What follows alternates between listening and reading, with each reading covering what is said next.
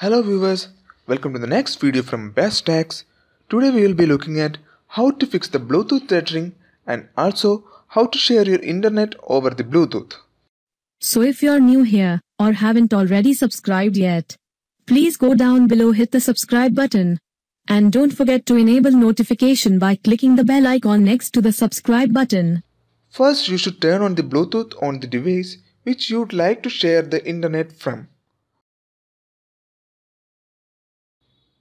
Then go to the more options from the settings menu and click on the tethering and hotspot and check on the Bluetooth tethering. Now again go back to the settings and turn on your mobile data. And again go to the Bluetooth menu and turn on the Bluetooth visibility.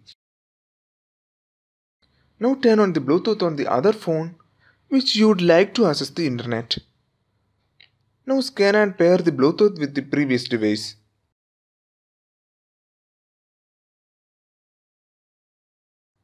After pairing, click on the settings option next to the paired device name and turn on the internet access. Now you should be able to access the internet on this device. To check that, let's open a browser.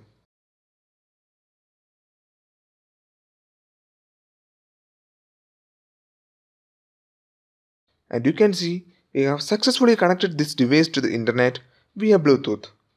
For more videos like this, consider subscribing our channel and don't forget to like and share this video.